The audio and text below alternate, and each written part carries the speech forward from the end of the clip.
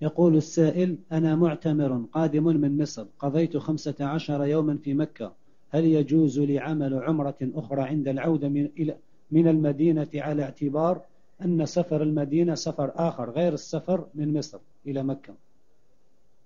إذا كنت بتذهب إلى المدينة لزيارة المسجد النبوي والصلاة فيه هذا عبادة مطلوب.